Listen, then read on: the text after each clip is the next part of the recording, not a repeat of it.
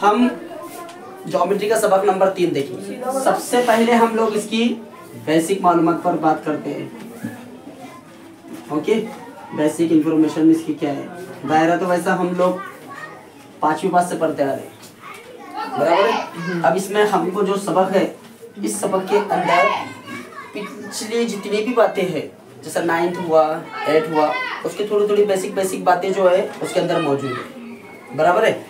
सबसे पहले हम लोग बात करते हैं डेफिनेशन की। किसकी बात करेंगे? डेफिनेशन की। सबसे पहले दायरे की डेफिनेशन की बात करेंगे हम लोग। यह है हमारा एक दायरा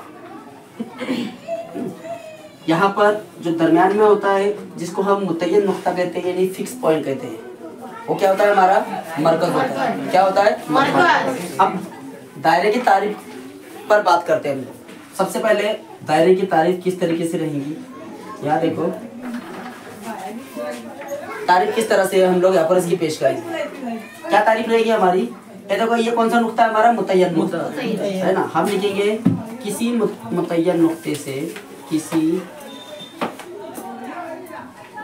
मुतयन नुक्ते से बराबर मुतयन फासले तक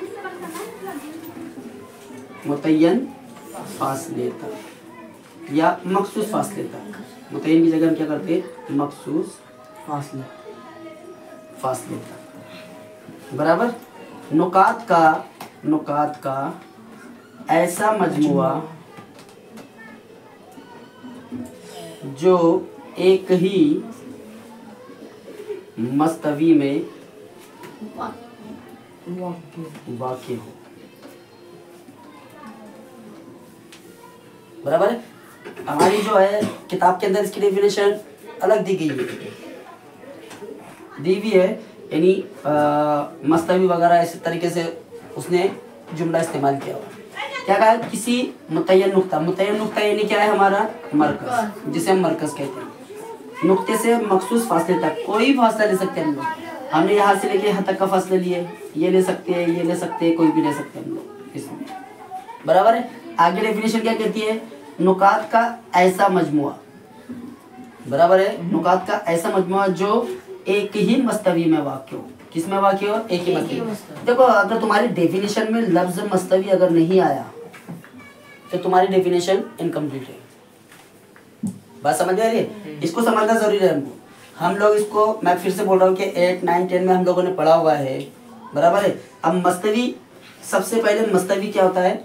इसकी मीनिंग जानते हैं। तो मस्तवी यानी हमवार सतह थोड़ा हम इसकी बेसिक की तरफ़ पढ़ेंगे मस्तवी यानी क्या? हमवार सतह हमवार सतह में से यानी क्या? जैसा ये आप लोगों को व्हाइट बोर्ड दिखाई दे रहा है। ये इसकी हमवार सतह। इसके चार कोने कितने कोने हैं? चार। कोने। इस तरह से। और मस्तवी जो है वो सिर्फ़ अपनी ही सिमतों में बढ़ता है। किसमें बढ़ता है? अपनी सिमत में। अब देखो इसकी चार सिमत है। एक सिमत ये वाली हो गई। दूसरी ये हो गई तीसरी ये वाली और चौथी। ये जैसा मानो किसी लड़की का दुपट्टा है या फिर साड़ी वगैरह है घर में हमारे बराबर है?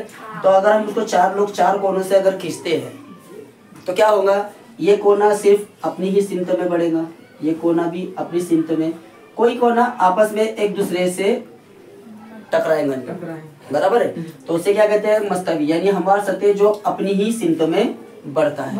अब आते हैं डेफिनेशन की तरफ़। तो इसमें ये मस्तवी लफ्ज़ों का इस्तेमाल क्यों किया गया? सवाल ये पैदा होता है, मस्तवी क्यों? तो देखो, जब हम कभी भी दायरा बनाते हैं, तुम लोग प्रकार की मदद से जब दायरा बनाते हैं तो हमारा नोकदार हिस्सा यहाँ पर रहता है और पेंसिल वाला हिस्सा इस तरह से रहता है। तो हम जब पेंसिल वाले हिस्से को इस तरह से खींचते हैं तो देखो, ये जो जा रहा है, यानी जो दिखाई दे रहा है ऐसा, ये मस्तवी है। ये क्या है? मस्तवी, यानी एक ही सिमत में बढ़ रहा है। जब हमारा मूवमेंट यानी यहाँ पर देखो ये यहाँ से मुड़ा फिर यहाँ से मुड़ा इस तरीके से जो मुड़ते जा रहा है।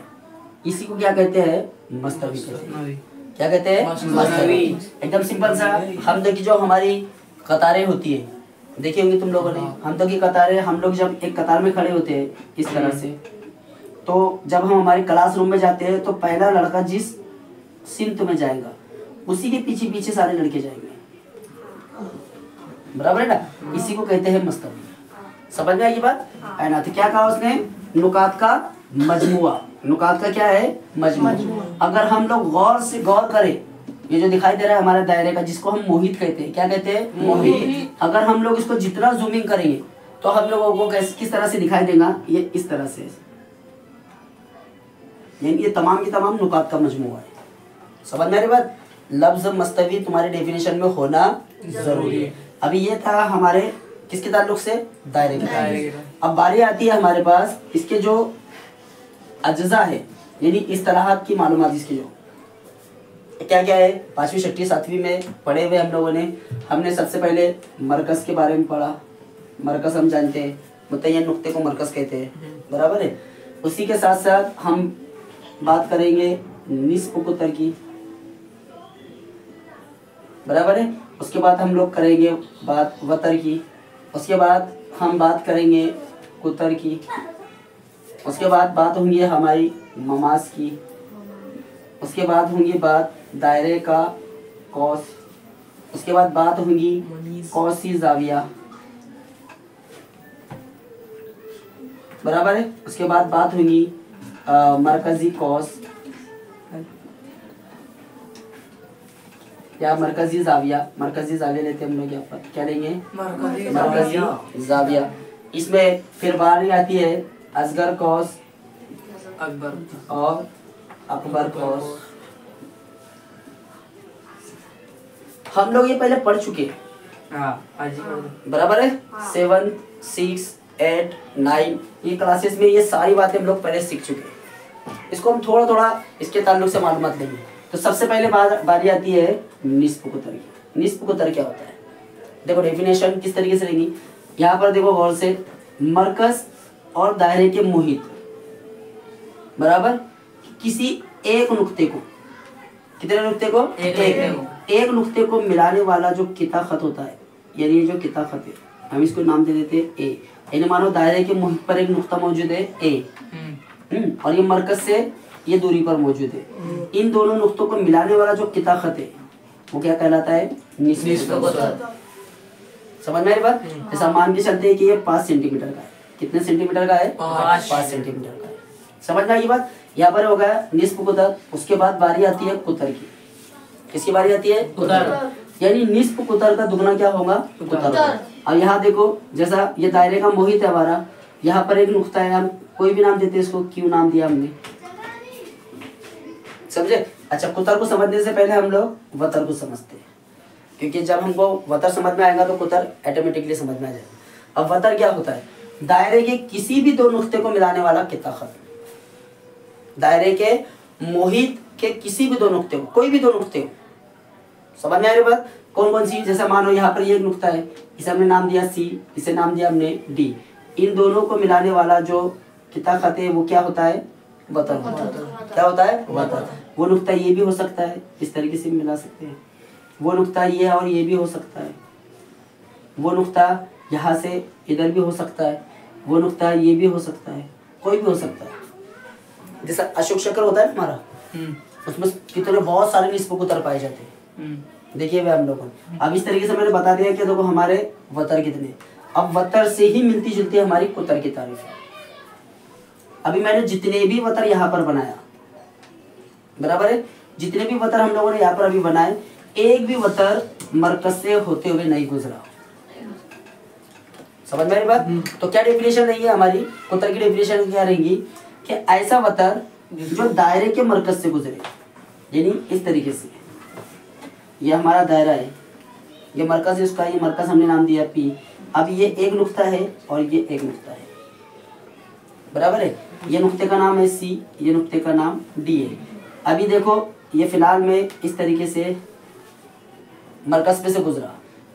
ये अगर ऐसा रहा इस तरह से जैसा ए बी तो ए बी सिर्फ़ वतर रहेगा। ए बी क्या रहेगा? वतर। वतर रहेगा क्योंकि वो मरकज से नहीं गुजर रहा। और सी डी क्या रहेगा?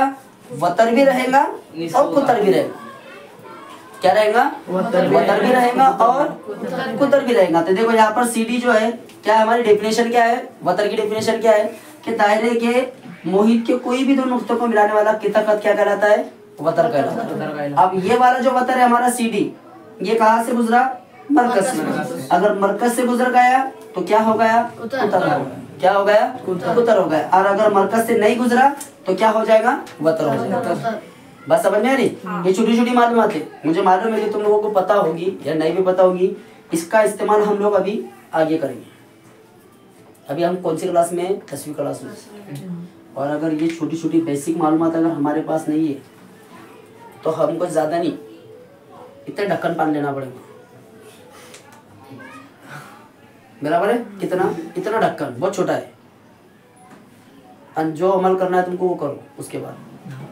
अगर दसवीं होने के बावजूद तुम्हारे पास अगर ये छोटी छोटी बातों की मालूम अगर नहीं है टेंथ क्लास है तो फिर तुम एक काम करो, पाँचवीं वाले बच्चों के साथ बैठ, जाकर बैठा करो क्लास में। अगर ये मालूम तुम्हारे पास नहीं है। सबक हमारा बड़ा है, बराबर? चार मश्क है इसके अंदर, तीन अशारिया चार तक के मश्क है। और अगर तुम लोग ये बेसिक मालूमात अगर अपने जहन में अभी तक बैठा बैठाओगे नहीं तो मैं अगर पूरी प्रॉब्लम भी तुम लोगों को खोलकर बता दूँ कि देखो मैंने किस तरह से किया क्या यहाँ तक तो समझ में आ जाएगा तुम लोगों को। समझ में आ बात? लेकिन जब तुम लोग घर पर करने के लिए बैठोगे तब सब बाईपास हो जाएगा।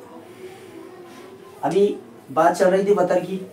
कुतर हो गया बारी आती है मुमास। की किसकी बारी आती है? ममास। ममास। की अभी जो है हमारा पहला मसला ममास के ऊपर ही है। किसके ऊपर है? ममास। अब ममास क्या होता है?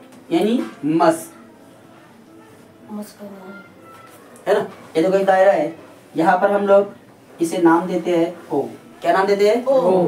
अब तुमको अच्छी तरीके से पता है ये मोहित है हमारा। क्या है? दायरे का मोहित है। और ये नुकात का मजमुआ है। तो ममाज किसे कहते हैं? कि ऐसा खत जो दायरे के सिर्फ़ और सिर्फ़ एक ही नुक्ते को मस करे। क्या करे?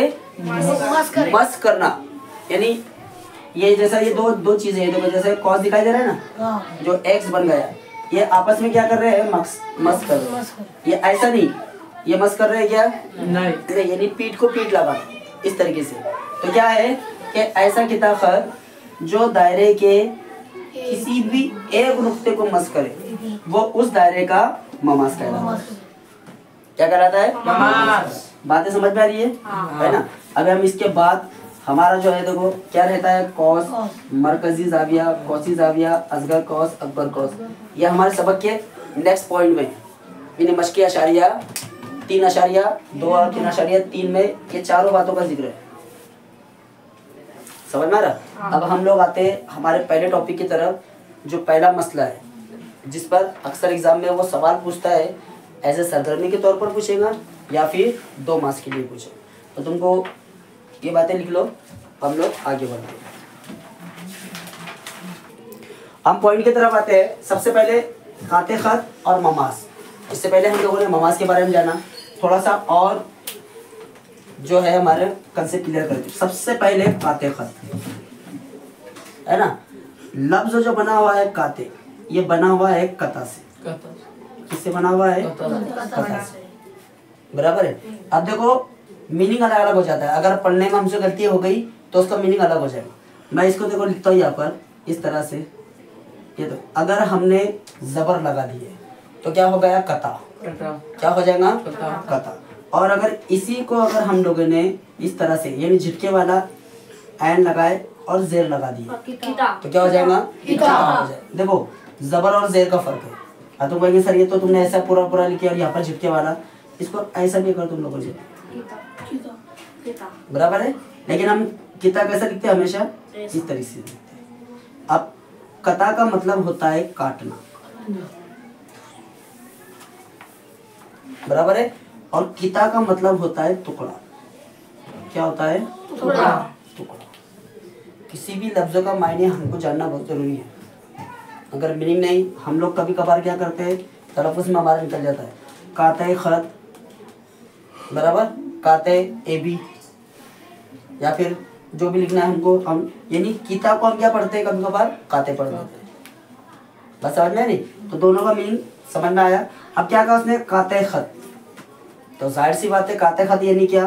काटना। काटना अब जब काटेगा वो दायरे में तो किस तरह से काटता है? जैसा फॉर एग्ज़ाम्पल शक्ल में देखते हैं हम लोग। ये देखो। ये एक दायरा है हमारा। ये उसका मरकज है। अब ये एक नुकता है और ये एक नुकता है। जब हम एक खत इस तरीके से यहाँ से गुजारेंगे। तो तुमने अगर गौर करे तो दायरे के कितने नुकात को उसने कता किया? दो। दो। दो हिस्से कितने किया? दो नुक्तों को। कितने? दो। दो नुक्तों को। यानी काते खत किसे कहते हैं? कि दायरे के दो नुकतों को कता करने वाला ये काते खत नहीं है। नहीं। बराबर है बात? उसके बाद ममास। ममास अभी हमने कुछ देर पहले देखा। इस तरह से ये नुकता है देखो दोनों में फ़र्क है। ममास सिर्फ़ दायरे के मोहित के सिर्फ़ एक ही नुक्ते को क्या करता है? मस मस करता है। काटता भी नहीं है। क्या करता है? मस करता है यानी उसी से चिटक जाता है। और काते खत क्या करता है? दायरे के किसी भी दो नुक्ते को कैसी भी लो तुम किधर से भी लो किसी भी दो नुक्ते को क्या करता है? काटता हुआ गुजर जाता है। समझ में बात? यानी ये जो दायरा है हमारा इस तरह से हमने दो नुक्ते ये वाला ये देखो ये कट ये वाला हिस्सा उसने काट दिया। यानी ये हिस्सा इतना कट गया। इस तरह से। जैसा हमारा एक फल है तरबूज। देखेंगे तुम लोगों ने। हाँ। अगर जब हम लोगों को बोला जाता है कि इसको तकसीम करना है तो हम क्या सिर्फ़ ऐसा ऊपर ऊपर वाले के हरा कलर करते ही निकालते नहीं हम क्या करते हैं? इस तरीके से रखते हैं उसे और दरमियान से छुरी मारते हैं। बराबर है ना? क्या कभी कभार ऐसा हुआ है कि हमारी छुरी जो यहाँ तक गई और यहाँ पर रुक गई? क्या दो हिस्से हुए? नहीं। तरबूज का पहला वाला हिस्सा ये है यानी पहला नुकता ये है और दूसरा नुकता है छुरी जब तक ये पूरी नीचे तक नहीं जाएगी तब तक के तरबूज के दो हिस्से नहीं होंगे। होंगे मगर लटक जाए वो। बराबर है उसको क्या दो हिस्से गई है नहीं। यानी कैसा होना यहाँ से निकलता हुआ ऐसा पूरा आखिर तक जाना चाहिए। उसको कहते हैं काते खत क्या कहते हैं? काते खत अब अगला जो मसला है हमारा इसी का है ममाज काते खत का मसला। किसका मसला है? का। वो थोड़ा सा कॉम्प्लिकेटेड है। कैसा है? थोड़ा सा कॉम्प्लिकेटेड है लेकिन समझ में आ जाएगा। ममाज खाते खत क्या है? थोड़ा सा कॉम्प्लिकेटेड ज़्यादा नहीं बस तुम लोगों ने अपनी नज़रें जमाना।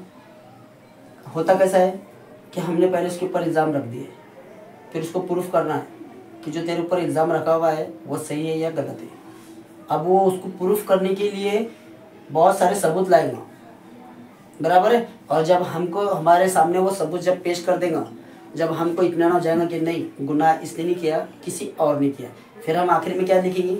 कि नहीं ये बेगुनाह है। इस तरीके से ये मेरे जो लॉजिक तुमको दिया जो छोटी सी जो कहानी सुनाया इसी को जहन में रखना है। उसी को सामने रखते हुए हम खाते खाते और ममाज का मसला सीखेंगे समझ में आ रहा चलो उसको देखते हैं अभी हम यहाँ पर। हमारा जो मसला है जैसे मैंने तुमको कहा था काते खत ममाज का मसला। असल में हमारा मसला क्या है? ममाज निस्फ कुतर का मसला है। बराबर है क्या है का अभी सबसे पहले मसला साबित करने के लिए मैं इसकी थोड़ी सी बेसिक मालूम दे देता हूँ। क्या हम लोगों को मसले में कितनी बातें होना ज़रूरी है? समझ में बात? मसले के अगर ये छह बातों में से कोई भी एक बात अगर तुम्हारे एग्ज़ाम में कम रहती है तो तुम्हारा पूरा मार्क्स ज़ीरो में तब्दील हो जाएगा। है ना? देखो मैं सारी छह बातों को तुम लोगों को यहाँ पर इस्तेमाल करके बताऊँगा। सबसे पहले नंबर एक बयान। बातें याद रखना है। पेपर में अगर तुम लोगों को उसने बयान दिया हुआ है यानी जैसा ये बयान दिया हुआ है फॉर एग्ज़ाम्पल और तुमको अच्छी तरीके से याद है तुम लोगों ने इसकी अच्छी स्टडी किए हुए है हम लोग क्या करते हैं ये बयान को छोड़ देते हैं डायरेक्ट दिया हुआ बस से लिखते हैं। तो अगर पेपर में बयान दिया हुआ भी है तब भी तुमको लिखना है और अगर उसने इतना लिखा कि ममाज निस्फ कुतर का मसला साबित कीजिए। बात समझ में सवाल पूछने के उसके तरीके देखो कौन कौन सा तरीका है? पहला सवाल पूछेंगे ममाज कुतर का मसला साबित कीजिए। अगर उसने ऐसा सवाल पूछा, तब भी तुम लोग क्या करेंगे? मसला लिखेंगे, यानी बयान लिखेंगे। बात समझ में आ रही? बयान तुम लोगों ने लिखा। दूसरा, अगर उसने पेपर में तुमको बयान दिया हुआ है, तब भी तुम्हारी शुरुआत कहाँ से होगी? बयान से होगी। समझ रहे? अभी पहला जो है हमारा, पहला काम क्या है? बयान लिखना। दूसरा, अब बयान की मदद से हम लोग बनाएँगे शक्ल। बयान की मदद से हम लोग क्या बनाएँगे? शक्ल बनाएँगे। तो शक्ल में किसका ज़िक्र किया गया है? अब हम यहाँ पर एक दायरा बनाते हैं। थोड़ी पेन की प्रॉब्लम है। हो जाएगा निशान ये दायरा है हमारा। इस पे मरकज का नाम देते हैं हम लोग। ओ। देखो मैं पढ़ते जाता हूँ फिर गौर से देखना। एक दायरे के किसी भी नुक्ते से यानी ये जो अभी हम लोगों ने डेफिनेशन देखी ये तमाम नुकात से मिला हुआ है। तो हम यहाँ पर लेते हैं मानो वो नुकता ये है। है ना? किसी भी नुक्ते से गुजरने वाला ममास। ममास की डेफिनेशन भी मैंने तुमको बताया। बराबर? मानिए कि वो इस तरीके से एक ममास गुजर रहा है। इसे हम नाम देते हैं खत एल। उस नुक्ते को मरकज से जोड़ने वाले निस्फ कुतर पर उमूद होता है। यानी यहाँ पर ये वाला नुक्ता यानी ये हमारा मरकज और ये नुक्ता। इसको जो जोड़ने वाला जो किताखत है, जिसे हम क्या कहते हैं? निस्फ कुतर कहते हैं। इसको मैं नाम देता हूँ पी क्या नाम देता हूँ? पी क्या कहा उसने? यानी क्या कहा उसने? देखो, गौर से पढ़े, पहले समझो, है। उस नुक्ते को मरकज से जोड़ने वाले निस्फ कुतर पर, यानी कौन होता है उमूद ममास। इसमें कंफ्यूज नहीं होना, है। उमुद कौन होता है? ममास। यानी देखो, यहाँ पर ये जो दिखाई दे रहा है, ये है हमारा निस्फ कुतर इसके ऊपर खत एल उमुद है, हमको वही साबित करना है। समझ में आ रहा बात? अब ये हो गया हमारा मसले के बाद हमने क्या किए? दायरा बनाए यानी शक्ल बनाए तीसरा पॉइंट पहला पॉइंट क्या है? बयान। दूसरा है शक्ल। तीसरा है दिया हुआ। तीसरा क्या है? दिया हुआ। हम यहाँ लिखेंगे दिया हुआ। अब दिया हुआ कहाँ से लिखेंगे? जो हम लोगों ने शक्ल में बताया वही दिया हुआ में लिखेंगे। हम्म, तो क्या लिखेंगे हम लोग? ओ दायरे का मरकज है ओपी दायरे का निस्फ बराबर? क्या लिखेंगे हम लोग? ओपी दायरे का निस्फ कुतर है। और खत एल? खत एल क्या है? बस इतनी मालूम लिखना है। जो जो हम लोगों ने लिखी। कितने पॉइंट हो गए? पहला हो गया बयान दूसरे हो गए शक्ल तीसरा हो गया दिया। चौथा पॉइंट क्या करना है हम लोगों को? साबित करना है। क्या करना है? साबित करना है। अब साबित क्या करना है? बराबर है? देखो साबित क्या करना है? यहाँ से ये जुमला कॉमा दिया हुआ है ना?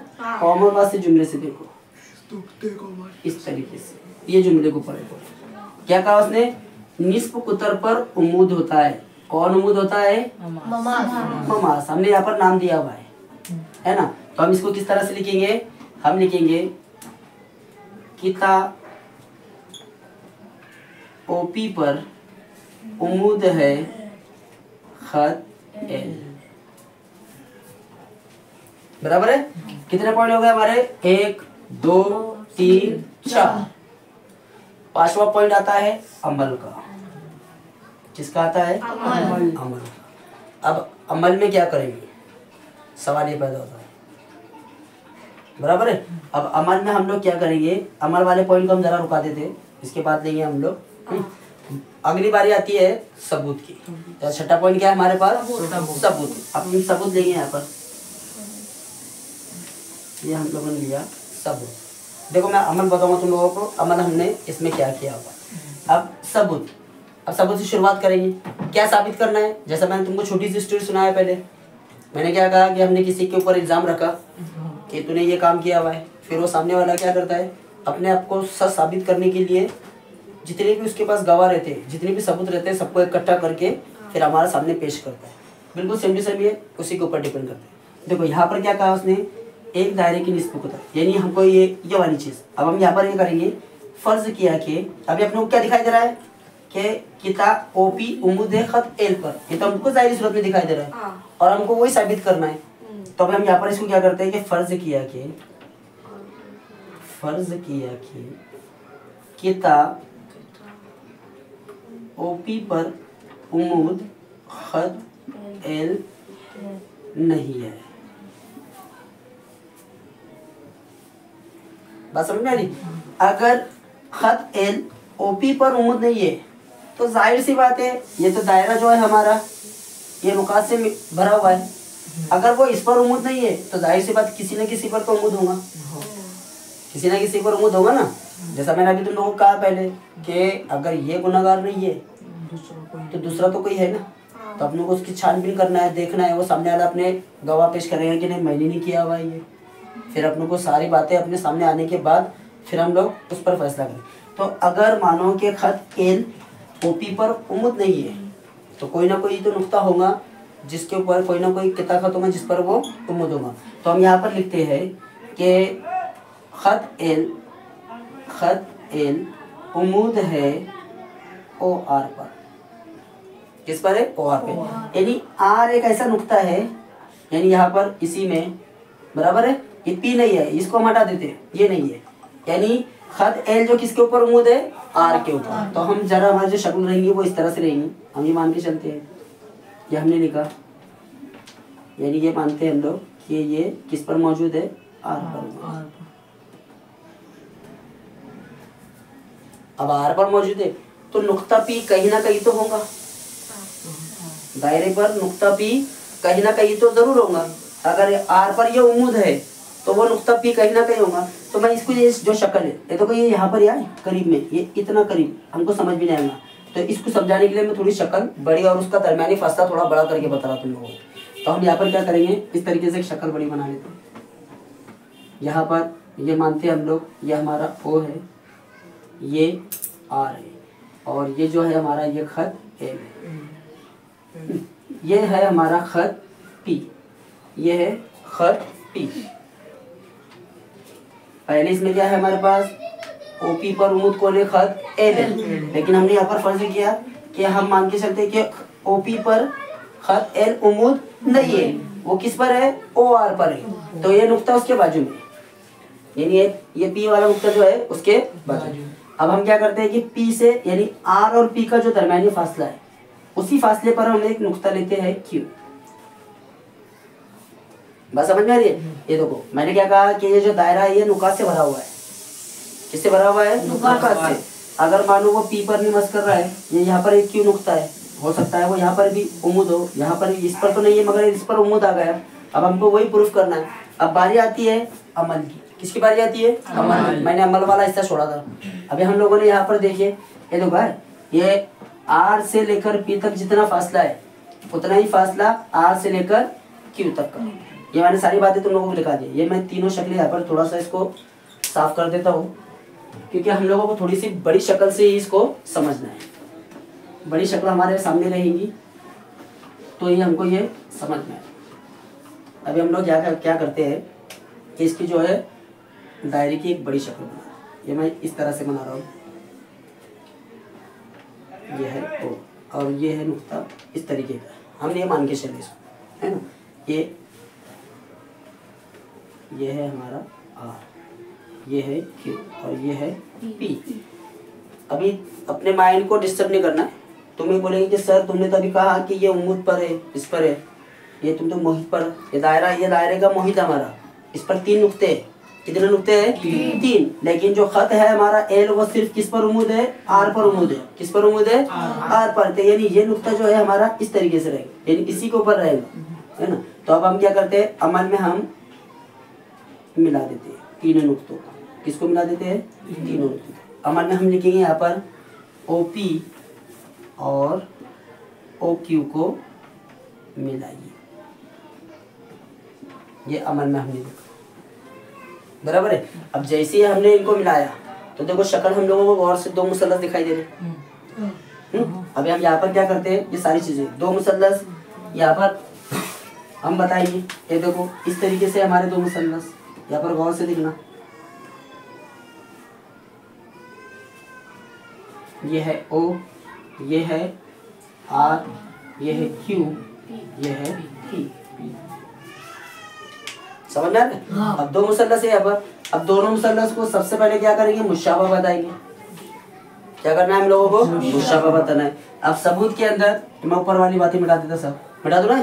है ना? पहले इसको कॉपी करो। लिख लो पहले इसको।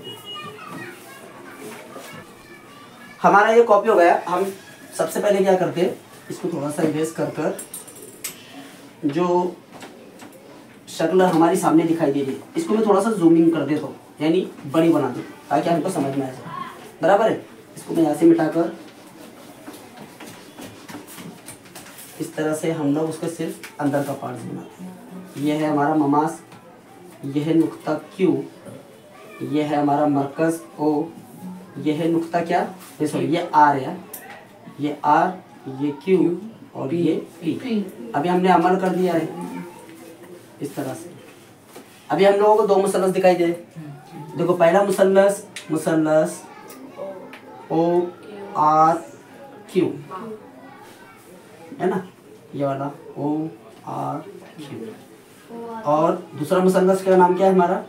मुसलस ओ आर पी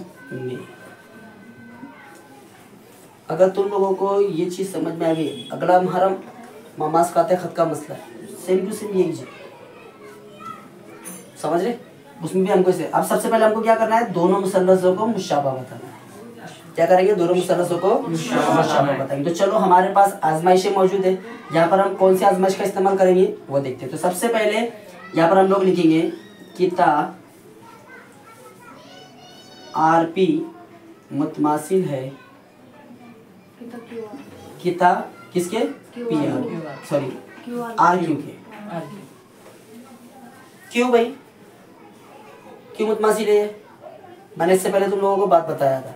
क्या कहा था मैंने कि आर की दूरी पर एक नुकता पी है? है ना? इसका जितना फासला है उतनी फासले पर हमने एक नुकता लिए थे। क्यू?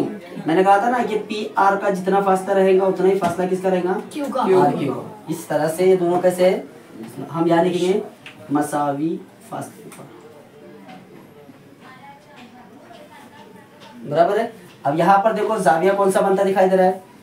O R. बराबर है? तो यहाँ पर हम लोग लिखेंगे जाविया। देखो मैं किस तरह से लिख रहा हूँ। Q R O. मैंने किस तरह से लिया? ऐसा। Q R O. यानी यहाँ पर उमुद वाला। तो इसके मुतमासिल कौन सा जाविया रहेगा फिर? R P O जाविया? P R O P R O P R O है ना? तो कौन सा जाविया बना हमारा यहाँ पर? उमुद यानी ये कौन सा? कायमा जाविया। अब यहाँ लिखेंगे।